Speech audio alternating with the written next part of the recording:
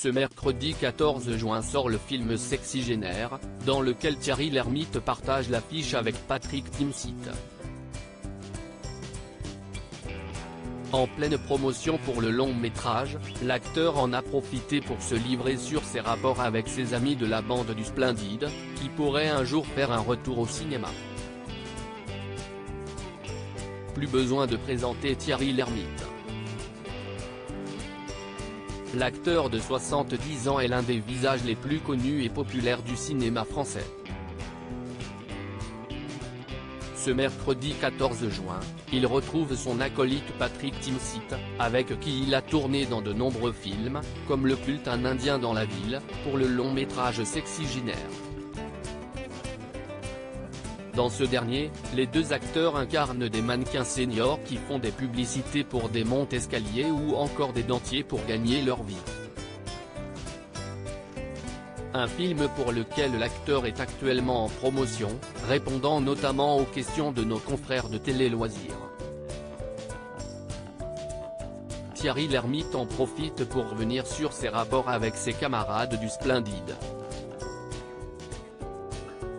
Nous nous voyons régulièrement depuis ses débuts sur les planches, et au cinéma, les Français ont pu voir Thierry Lhermitte prendre de l'âge. un âge synonyme de liberté, aujourd'hui, je suis sans doute plus libre de dire ce que je veux parce que je me fous de ce qu'en penseront les gens. Je ne me fais pas de soucis pour ma carrière. Une carrière qu'il a commencé il y a 50 ans, aux côtés de la bande du Splendide.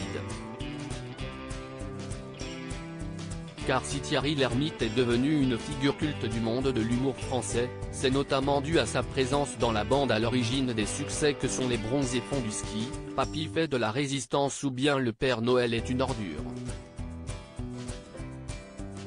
Une bande que les téléspectateurs français rêvent de voir revenir pour un nouveau film, ce à quoi répond très clairement l'acteur, nous nous voyons régulièrement. mais nous n'avons pas le temps d'écrire un film tous ensemble.